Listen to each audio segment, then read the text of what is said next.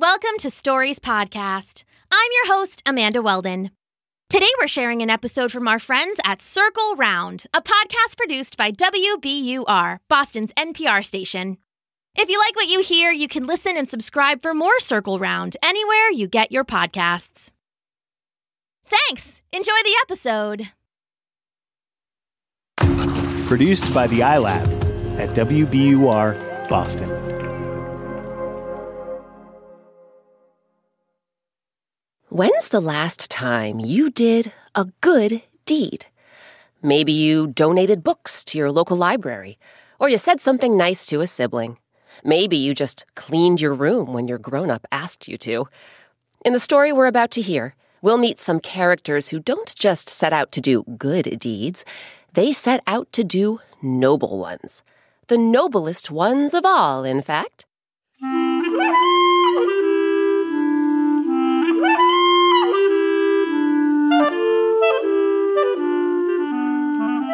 I'm Rebecca Sheir, and welcome to Circle Round, where story time happens all the time. Today, our story is called The Noblest Tale. Versions of this folk tale originally come from Mexico. And, fun fact, our adaptation of this tale not only wraps up season three of Circle Round, it marks our 100th episode. Some really great folks came together to bring you this milestone installment of the podcast, including celebrated singer songwriter Lisa Loeb. Lisa has released 15 studio albums, five of which are for kids, including Feel What You Feel, which won the 2018 Grammy Award for Best Children's Album. So, circle around, everyone, for the noblest tale.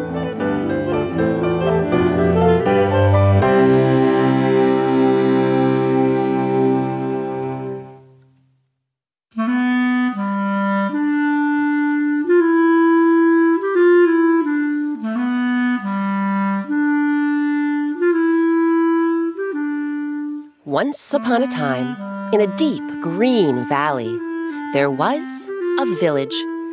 It was a charming village with winding cobblestone streets, brightly colored houses, and a lively market where vendors peddled fruits and flowers, paintings and pottery. But life in the village wasn't always peaceful. You see, the village was set among towering, majestic mountains that reached all the way to the sky. One mountain was so high that it was always covered with clouds. And on that cloud covered mountain there lived a dragon. A scaly green dragon who often swooped down and swept through the cobblestone streets, huffing flames out of his nose and sending the villagers running.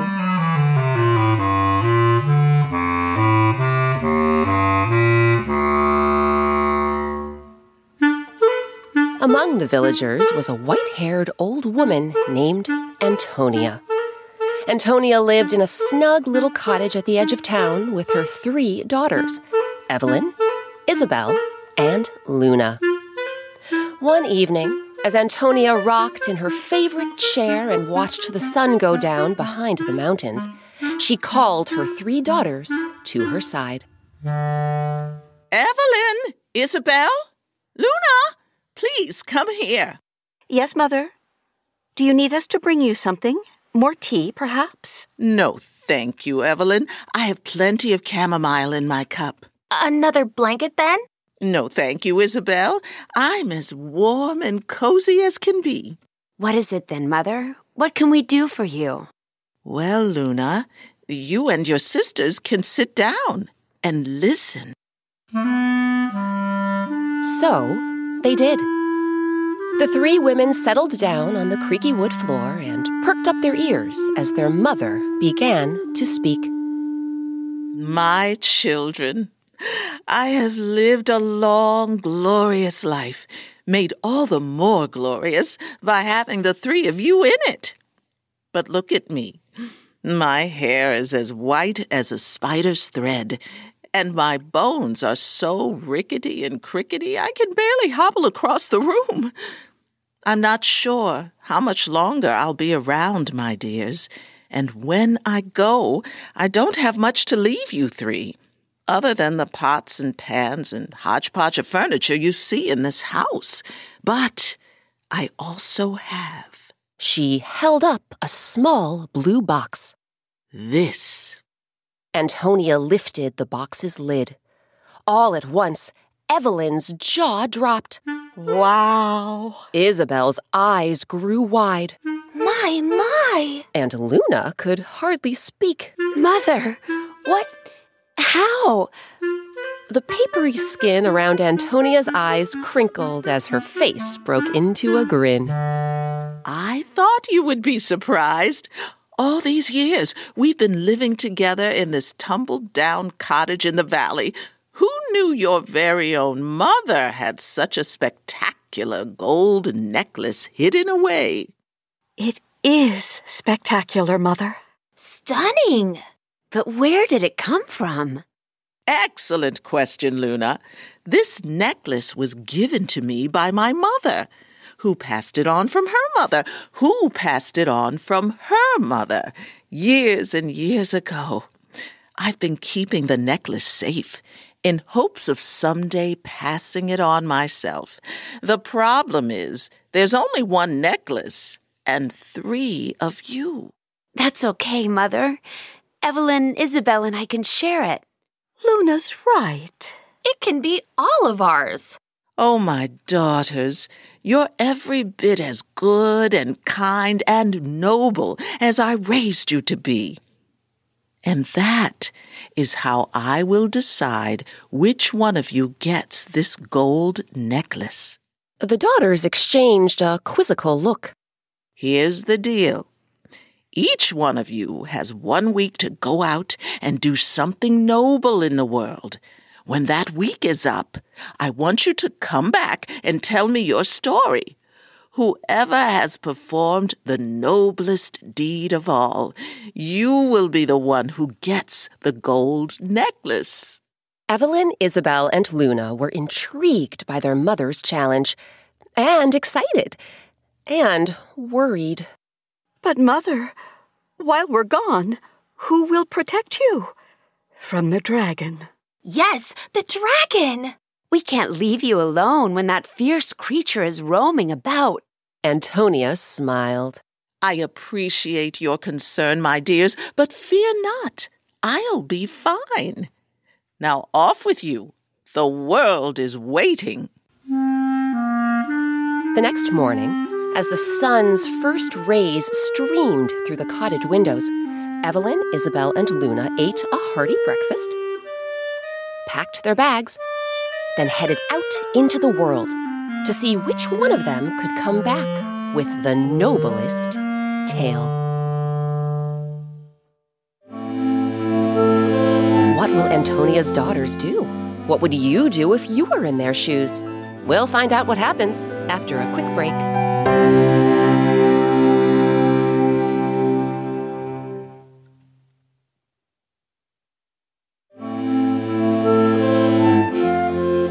Welcome back to Circle Round. I'm Rebecca Sheir. Today our story is called The Noblest Tale.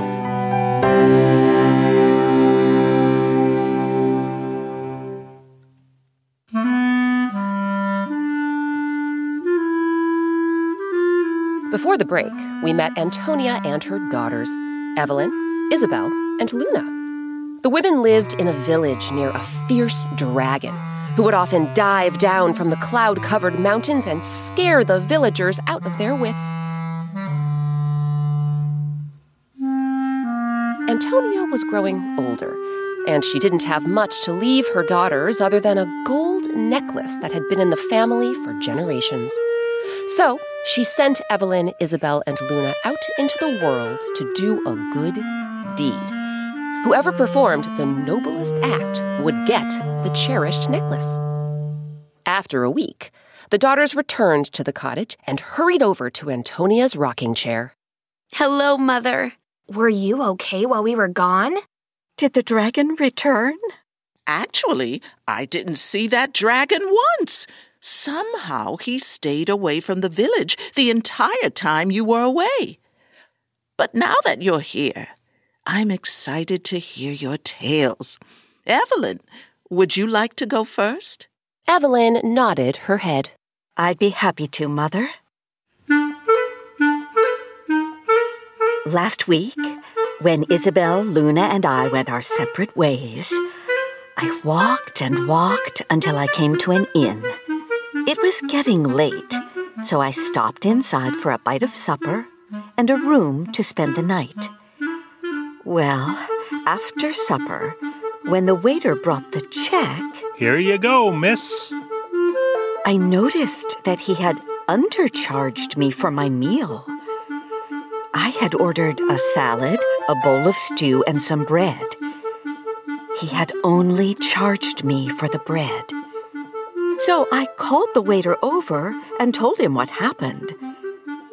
Well, it turns out a man at a nearby table had witnessed the entire thing. And after I paid the bill, the man approached me with a small wooden chest in his hands.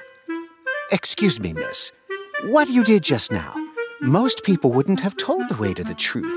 They would have just waltzed on out of here without paying for their full meal. Clearly, you are someone I could trust. Next thing I knew, the man was handing me the small wooden chest. He told me he had to leave town unexpectedly, and he wanted to leave the chest in my keeping. This chest contains all of the savings that I own some money, some jewels. I don't know anyone in this town, and I need someone I can trust to watch my valuables until I return. So I did. All week long, I kept an eye on that chest. And when the man came back, I returned it. All of it. Someone else might have pinched a few coins or pocketed a bracelet or two, but not me. I gave back the chest just as I had received it. I never even looked inside. As Evelyn finished her story, she flashed Antonia a grin. So, tell me, Mother, was this not a very noble deed? Antonia stroked her chin as she rocked in her chair. Hmm. Your deed, Evelyn, was honest, conscientious, on the level. But you only did what was right and nothing more. Giving this man his full savings was your duty, and you did it. It was an act of integrity, uh, not nobility. Wouldn't you say? Antonia leaned over and gave Evelyn a kiss on the cheek. Then she turned to Isabel. Isabel, why don't you tell us your story? Isabel's face lit up. I'd be delighted to, Mother. Now, I never told any of you this, but I've managed to save up quite a few silver coins over the years. Last week, when Evelyn, Luna, and I set out to do something noble in the world, I got to thinking as I wandered around what if I divide my savings in half, then give half of it away? Just then, I heard someone call out to me. Excuse me, miss? Sitting by the side of the road was a poor, grizzled man. He was skinny as a rail. Uh, sorry to bother you, miss, but can you spare a, a morsel of food? Well, I didn't have any food with me, but I did have my silver coins. So I reached into my satchel and offered the man a handful. Thank you, miss. Oh, oh, thank you. I did the same when I came upon a poor peddler who was trudging home after not selling one item all day. Oh my, look at these coins. Thank you. All week long, Thank you. I found people who were nowhere near as fortunate as I was, Thank you. and I gave them my silver coins Uh, thank you. Thank you so much. until half of my savings was gone. As Isabel wrapped up her story, she gazed at Antonia with hopeful eyes. So tell me, Mother, was this not a very noble deed? Antonia brought a cup of tea to her lips and took a sip. Well, your deed, Isabel, was kind, charitable, giving. But taking care of those less fortunate than us is something we all should do if we're able. It's an act of duty, not nobility. Wouldn't you say? Antonia leaned over and gave Isabel a kiss on the forehead. Then she turned to Luna. Luna, why don't you tell us your story? A gentle smile crossed Luna's lips. It would be my honor, Mother. When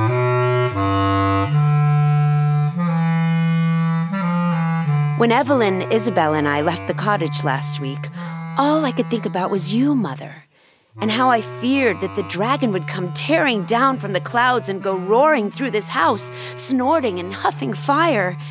I wandered around all day, lost in my thoughts, and as the sun set, I realized I had meandered far into the mountains to a windy cliff overlooking the valley. And that was when I heard somebody crying.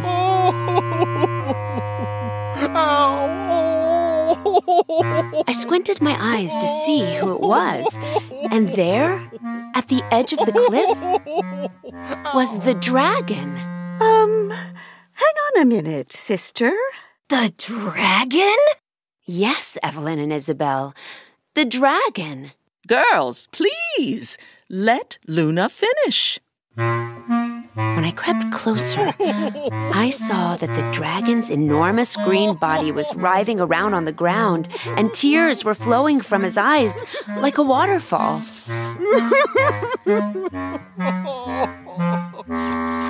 As the powerful creature thrashed this way and that, I noticed he kept shaking his back right leg. And when I crept over to get a closer look, I saw he had a thorny branch stuck in his back right foot. At first, I thought I should run away and save myself from this menace that's been terrorizing our village. But I didn't. Instead, I called out to the dragon. When he heard my voice, he stopped crying and swung his big, scaly head in my direction. His red eyes were gleaming. What do you want? I told the dragon that if he'd let me, I could take the thorn out of his foot. All I asked in return was that he stop tearing through our village and frightening all the people, that he leave us alone, in peace. Okay, okay, I hear what you're saying. But here's the thing my family has been terrifying you villagers for generations. Before me, it was my mother and father. Before them, it was their mother and father. Before them, it was their mother and father. Freaking out you humans, it's basically our job. It's what we do. It's all we dragons know. You can take out the thorn if you want, but I can't guarantee that I'll change. I looked at the dragon. I looked at his foot, and I knew what I had to do. And what was that? Yeah, what did you have to do? Girls, she's getting to that. Please, Luna, go on. First, I took a deep breath. Then I reached out my hand, grasped the thorny branch, and gave it a tug. Yeah. Now that the branch was out of the dragon's foot, he leapt into the air. Then he lunged toward me, peering at me with those glittering red eyes. For a moment, I thought he might open his mighty jaws and swallow me whole. But instead, he cocked his scaly head, snapped his pointy teeth, and said two words I will never forget. Thank you. Then he spread his massive wings and flew away. As Luna ended her story, she looked deep into Antonia's eyes. So, that's my tale, Mother. What do you think? Antonia was quiet for a moment. Then the old woman held out a frail hand and placed it on top of Luna's. That was a beautiful story, Luna. And a beautiful You reached out and helped your enemy, someone who had struck fear in your heart and the hearts of those you love, and may very well keep doing so for all we know. Yet you showed kindness and compassion, all while risking your life. That is an act of nobility. She gave Luna's hand a squeeze. Wouldn't you say? As Antonia let go of Luna's hand, Luna looked down at her palm. And do you know what she saw glittering there? You guessed it the gold necklace. From that day forward, Luna cherished that necklace until it was time for her to pass it on to her daughter, who then passed it on to her daughter, and so on and so on. As for the dragon, well, he never terrorized the villagers again.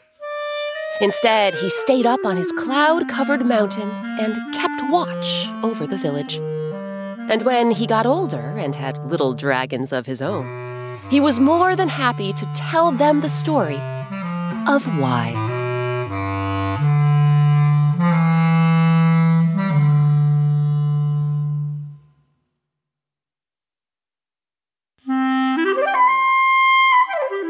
Now it's your turn. Have you ever listened to the stories on Circle Round and been inspired to tell your own? Well, now here's your chance.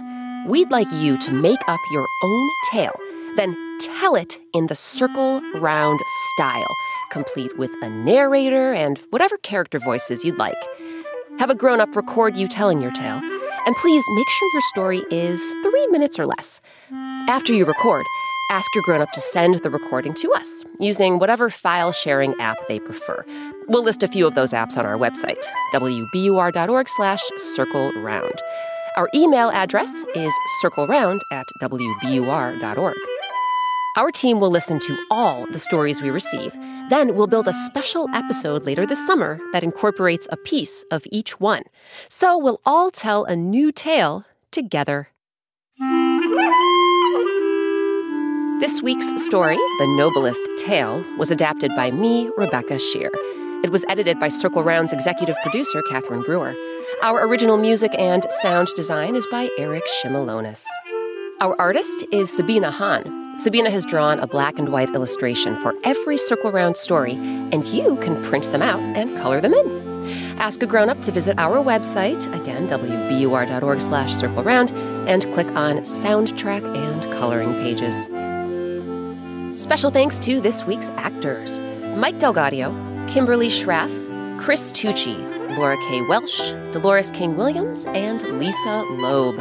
Singer songwriter Lisa Loeb released her 15th studio album, A Simple Trick to Happiness, earlier this year. Kids, you might be familiar with Lisa's five children's albums, including Feel What You Feel, which won the 2018 Grammy Award for Best Children's Album. She also started the Camp Lisa Foundation, which sends underserved kids to summer camp. Our featured instrument this week was the clarinet. This member of the woodwind family was played by guest artist Ben Redwine, a musician you've actually heard a bunch of times since he's the featured soloist in our Circle Round theme music. You can learn more about Ben Redwine and the clarinet and see a picture on our website. Again, that's wbur.org slash circle round. Never want to miss an episode of Circle Round? Ask a grown up to subscribe on Apple Podcasts or wherever they get their podcasts. Circle Round is a production of WBUR, Boston's NPR news station. I'm Rebecca Sheir. Thanks for circling round with us. One of the best things about creating Circle Round is hearing from listeners like you. Circle Round fans have been telling us about their favorite Circle Round stories, and we're excited to share some of their voices with you. Hi, my name is Erica. I love all the Circle Round stories, but my favorite one is The Golden Fleece. Hi, my name is Sydney, and I live in San Francisco, California. And my favorite circle around story is the banker's riddles because I like the part when the banker and the clever daughter become friends. Did someone mention an episode you missed? No problem. You can find every single Circle Round story on our website. That's wbur.org slash circle round, or wherever you and your grown-ups get your podcasts.